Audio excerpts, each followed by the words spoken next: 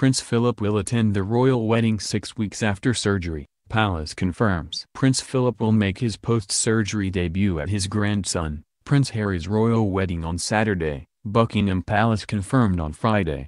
Philip's attendance at Harry and Meghan Markle's nuptials was in question days before the ceremony. On April 4, he underwent hip replacement surgery at a hospital in London, and has been recuperating at home. Fortunately, he's been recovering at Windsor Castle, just a short walk away from St. George's Chapel, where Harry and Meghan are tying the knot. In a press briefing just two weeks before the ceremony, a palace spokesperson said that the members of the royal family very much hoped that Philip would be able to attend the ceremony.